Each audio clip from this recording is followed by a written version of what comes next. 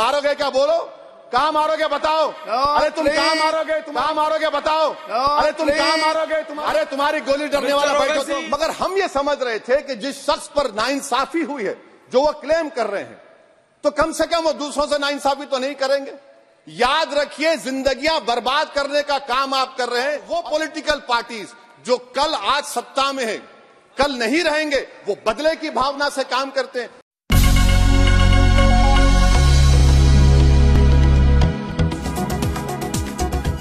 धन के लिए अविश्वास धंधे के लिए विश्वास ये इस, इस हुकूमत का नया मंत्रा है।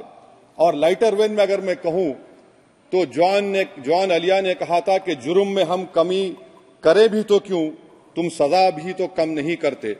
सर आज सच्चाई इस देश में यह है कि सूट पहनने वाला क्राइम से बच जुर्म से बच जाता है जेल से बच जाता है। एक खाकी पहनने वाला किसी को करीब से गोली मार सकता है हथकड़ी पहने हुए मुजरिम को उसको कुछ नहीं, जवाबदेही नहीं है। सच्चाई हमारे मुल्क में यह है कि इस ऐवान में जिन पर टेररिज्म का चार्ज है, वो इस कानून पर वोट डालेंगे कि टेररिज्म क्या है, नहीं है। सर मुझे ये कहने की इजाज़त दीजिए कि अगर आज भगत सिंह को और मोहनदास करमचंद गांधी को ये तीन खवानीन बनाए जाते तो भगत सिंह और मोहनदास करमचंद गांधी कहते कि रोलट एक्ट है ये। ये तीन खवानीन रोलट एक्ट है। अब हुकूमत को बताना पड़ेगा कि असल मकौले पुत्र कौन है? सर, सच्चाई यह है कि इस मुल्क के गरीब, दलित, मुसलमान आदिवासी, इनके लिए ज़िंदगी से बड़ी को सजा नहीं है। और क्या जुर्म है पता ही नहीं इनको सर, अगर हमको रिफॉर्म करना था, इसलाह करना था तो हमको उन प्रोविजंस को निकालना था जो हुकूमत और पुलिस को मनमानी करने की इजाज़त देती है।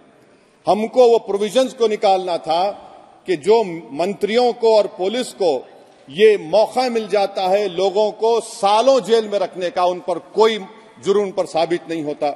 हमको यह करना चाहिए था कि जो प्रोसिक्यूटर होता है, वो फेब्रिकेटेड एविडेंस डालकर ताकतवरों को अपनी ताकत की बुनियाद पर उनको छूट दे देता है। हमने वो काम नहीं किया। आज हमारे वतन अज़ीज़, भारत में सबसे ज़्यादा अंडर ट्रायल अगर कोई है जेलों में तो मुसलमान दलित आदिवासी हैं। सर, इनका कन्विक्शन रेट देख लीजिए आप। एनसीआरबी का डेटा है 2017 से 21 का। 20 फ़ीसद अंडर ट्रायल मुसलमान है 16 फ़ीसद कन्विक्शन है और मुसलमानों की आबादी 14 14.2 परसेंट है। प्रिवेंटिव डिटेंशन यदि जिसको इस्तेमाल किया जाता है। जुडिशियल प्रोसेस को सबवर्ट करने के लिए और फेट ट्रायल को सबवर्ट करने के लिए आज भारत की जेलों में 30 फ़ीसद डेट्यून्यूज मुसलमान है। उत्तर प्रदेश में 2017 में 33 फ़ीसद मुसलमान डेट्यून्यूज थे। आज 83.9 परसेंट उत्तर प्रदेश के जेलों में मुसलमान डिटी न्यूज़ है। सर, एक और मिसाल दे रहा हूँ। सीएसडीएस की रिपोर्ट है। थिंक टैंक है बहुत बड़ा, जो कहता है कि they have found substantial prejudice against Muslim police force Bihar, Maharashtra, Uttarakhand, Jharkhand two third of the surveyed police personnel believe that Muslim were more incline to violence than members of the communities ये empirical evidence है। इसी report में कहा गया कि 35 फ़ीसद जिन police अहदेदारों का सर्वे किया गया, उन्होंने मॉब वायलेंस को नेचुरल करार दिया, खास तौर से उस उन केसों में जहाँ पर काउ स्लॉटर होता है। सीजेपीएपी का इन्वेस्टिगेशन रिपोर्ट है, सर, कि कोविड 19 के दौरान जिन लोगों 25 फ़ीसद मुसलमानों का अरेस्ट किया गया था। ये बायसनेस नहीं है तो क्या है?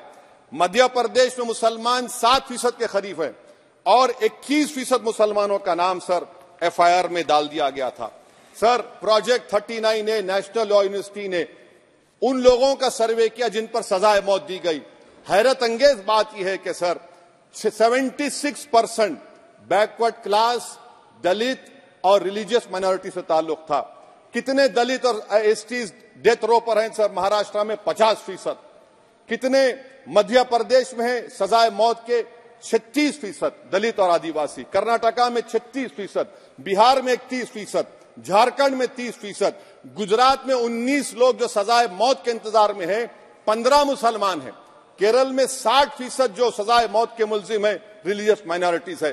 सर, आखिर इस देश में कब तक ये चलता रहेगा कि अनस्पोकन रिजर्वेशन उन लोगों के लिए, उनके पास पूरा पॉलिटिकल पावर है और एक अनस्पोकन रिजर्वेशन है, दलित मुसलमान आदिवासियों के इनको जेल में रहना पड़ता है। कि आखिर ये कैसे मुमकिन है सर कि आला आलाजाद के जो अक्सरती तबके के लोग हैं, उनके पास सियासी ताकत है, माशी ताकत है, सोशल ताकत है और मुसलमान और दलित आदिवासी जेलों में पड़े रहते हैं। अरे अगर आप तीन कानून लाकर इसलाह कर रहे हैं तो कौन सा इसलाह है? आप तो ताकतवरों का रिफॉर्म कर रहे हैं। गरीबों को इससे क्या फ़ायदा हो रहा है? तो जैसा अंग्रेज़ी में कहा गया था कि the cure is dangerous disease sir sir अब आप आ जाइए बी एन डबल एस पर क्लास 187 डिटेंशन का पीरियड देख लीजिए सर 187 थ्री में। यानी पंद्रह दिन से ज़्यादा आपको मुश्किल है प्रेजेंटली अब आपने प्रोविज़न दे दिया कि नौवत दिन तक आप कभी भी पाँच दिन का, छह दिन का, दस दिन का, यानी नौवत दिन तक किसी को बेल नहीं मिलेगी। और हैरत अंगेज बात यह है कि यूएपीए के कानून में, जिसको जेल में डाला जाता है यूएपीए में तीस दिन के बाद एक सुप्रिटेंडेंट ऑफ़ पुलिस को कोर्ट में एफिडेविट देना पड़ता है कि क्यों आप पुलिस कस्टडी ले रहे हैं जेल से। आपने वो भी निकाल दिया। यानी जिस किसी को भी आप इस वन इस कानून में अरेस्ट करेंगे, यूएपीए से ज़्यादा मैं नौवत दिन जेल में रहूँगा और कौन रहेगा जेल में? मुसलमान रहेगा, दलित रहेगा, आदिवासी रहेगा और बेल उसको नहीं मिलेगी। तो ये खुद, सुन लीजिए तो सुन लीजिए तो यानी कन्विक्शन नहीं होगा, ना बेल मिलेगी, क्योंकि पुलिस कस्टडी है। यह कानून में है सर आप मुझे करेक्ट कर सकते हैं। अच्छा डी के बासु के गाइडलाइंस को आपने अडॉप्ट नहीं किया।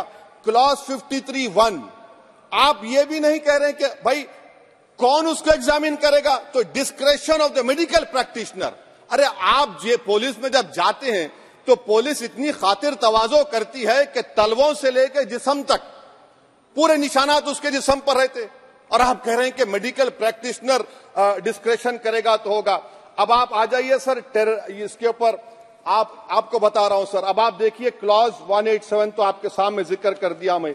सर, अब आप देखिए clause one clause 472 mercy petition article 79 और 161 का कॉन्स्टिट्यूशन का हिस्सा है।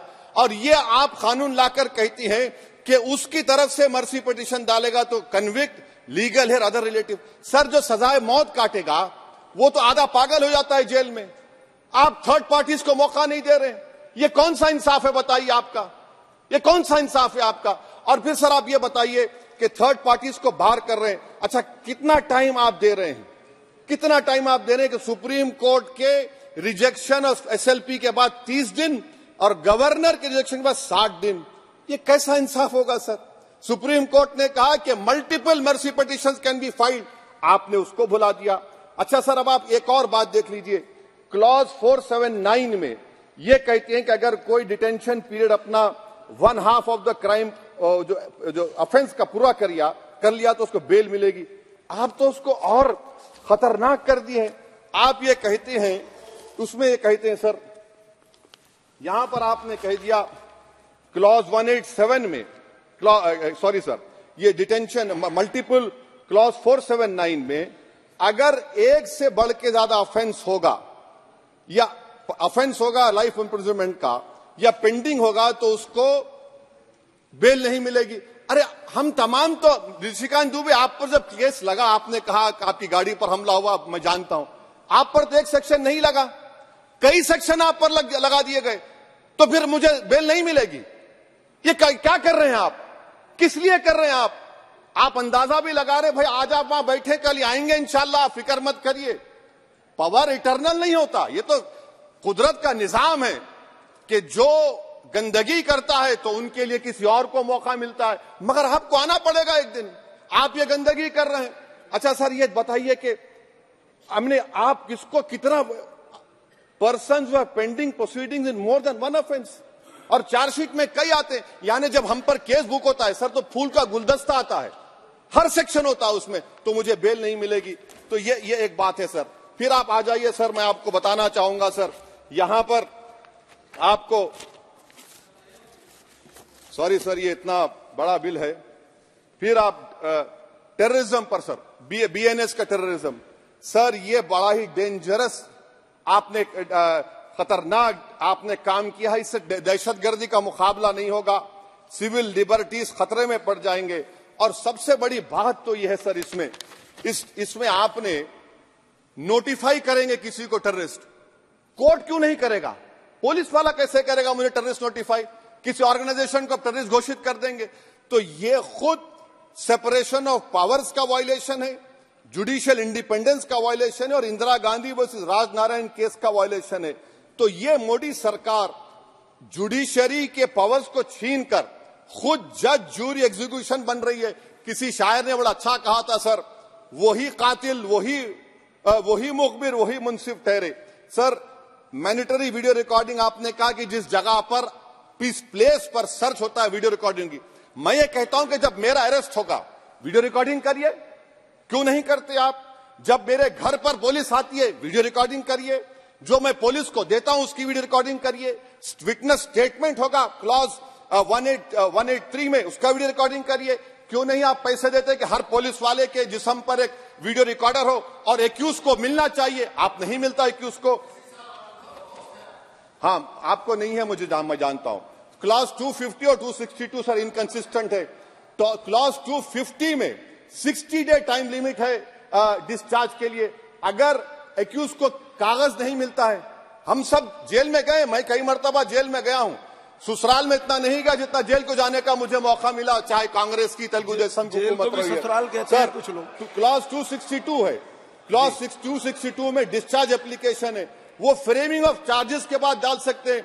ये it defeats the purpose what is the discharge application which is to prevent police from using delay tactics discharge always proceed framing of charges आप, मैं उस वक्त तक डिस्चार्ज नहीं डाल सकता, जब तक कि वो नहीं होगा। अच्छा क्लॉज 251 263 देखिए sir.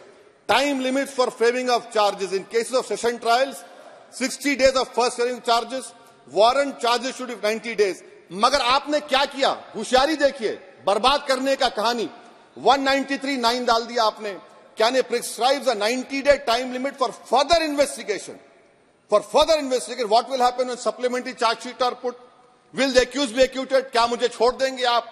क्या कोई time like this is a dead letter यानी आप तो पूरे का पूरा सिविल राइट्स लिबर्टीज बोलिए, सब छीन ले रहे अच्छा सर, इसमें आपने लिंचिंग का एक कानून बनाया बीएनएस में सेक्ट क्लॉज 103 में। अब आप इसमें देखिए सर लिंचिंग कब हो सकता है?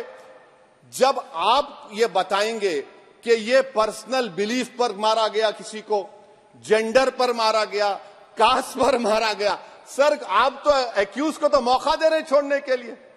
आप तो एक्यूज को मौका दे रहे हैं। अच्छा पर्सनल बिलीफ में रिलीजन क्यों नहीं लिखते भैया आप? इन तीनों कानून में रिलीजन इस्तेमाल किया गया।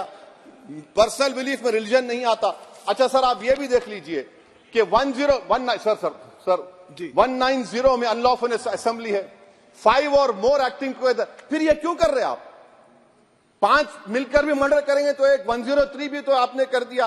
तो इनका इट यानी ये तो इसका अनलॉफुल एक्टिंग टुगेदर है।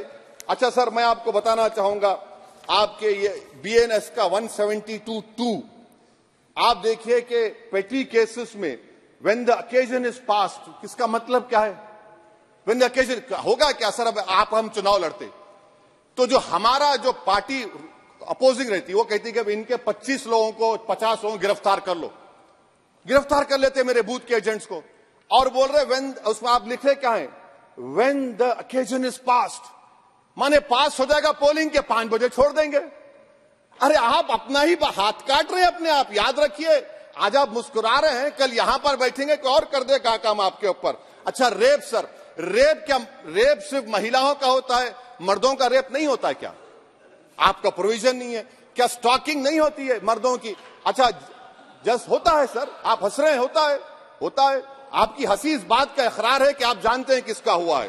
तो justice J S Verma sir, justice J S Verma का जेंडर न्यूट्रल बनाइए। अच्छा क्लास 69 को, क्लास 69 लव जिहाद आ गया, देखिए सर, क्लास सिक्स, लव जिहाद आ गया। उसमें बियॉन्ड रीजनेबल डाउट प्रूव ही नहीं कर पाएँगे आप। अब उसमें क्या बताना पड़ेगा? Suppressing identity. यानी अगर कोई महिला मोनू मानेसर चोमू चंडीगढ़ से इश्क करती है बाद में उसको मालूम होता है कि वो मानेसर का नहीं है, चंडीगढ़ का नहीं है तो क्या क्रॉस सिक्स एक्शन में आएगा? आप बताइए कि अच्छा अगर कोई ये कहेगा कि मेरा नाम, कुछ नाम है कई कुछ नाम होता है, जो कॉमन नाम होता है मुसलमानों में, दीगर मजाहब में तो क्या वो सेक्शन अप्लाई होगा? ये क्या आप कर रहे हैं? अच्छा आपने अडल्ट्री को निकाल दिया, आपने होमोसेक्सुअलिटी को निकाल दिया तो ये कंसेंशल सेक्सुअल रिलेशन जो अठारह बीस साल के ऊपर के लोगों में करते हैं। मैं इसका खिलाफ ज़रूर हूँ मजहबी एतबार से। मगर आप क्यों उनकी ऑटोनॉमी को रोकना चाहते हैं? अच्छा सर सेक्शन क्लॉज 1093 बीएनएस का। आपको it does not require knowledge और intention part of person facility commissioner organise crime ये मैं सर सर मैं, मैं, मैं पाँच मिनट दीजिए सर। सर बीएनएस का सेडेशन पे देख लीजिए। सेडेशन को आपने दोबारा ला लिया। लफ्ज सेडेशन इस्तेमाल नहीं किया आपने। तीन साल से सात साल आपने सुप्रीम कोर्ट को अंडरटेकिंग दी थी कि प्रोविज़न नहीं लाया जाएगा। तो चेयरमैन सर यहाँ पर हिंदी के बहुत मशहूर कवि का वो शेर मुझे याद आ रहा है। मैथिली शरण गुप्त का कि राज्य को यदि हम बना लेंगे भोग तो बनेगा वो प्रजा का रोग। फिर कहूँ मैं क्यों ना उठकर हूँ? आज मेरा धर्म राजद्रोह। कार्ल मार्क्स ने कहा था sir history repeats itself first as a tragedy second as a farce आप क्लॉज 195 वन डी देखिए। It criminalises the making of publication of false and misleading information jeopardising sovereignty integrity of India vague है। यानी जो कोई भी पत्रकार investigative journalism लिखेगा, आप उसको इस्तेमाल कर लेंगे और जेल की सलाखों में उसको डालकर आप सड़ा देंगे। सर, मैं आपको और एक बात बताना चाहूँगा कि रैश एंड नेग्लिजेंट एक्ट जो आईपीसी में था, दो साल थे 304 आप उसको बढ़ाकर पाँच साल कर दिए 1061 में बीएनएस वन में। और rash and negligent driving 304 IPC में था। दो साल की ज़रूरत आपने दस साल कर दिया। ये क्रिमिनल जुरिस्प्रूडेंस का हिस्सा नहीं है। अच्छा क्रिमिनल ऑर्गेनाइजेशन उत्तर प्रदेश में यूपी गैंगस्टर एक्ट में एक चार्जशीट में गैंगस्टर एक्ट लगता। सर, आप बताइए फिर यूएपीए का क्या होगा? पीएमएलए का क्या होगा? महाराष्ट्र, मकोका क्या क्या होगा? गुजरात के कोका क्या क्या होगा?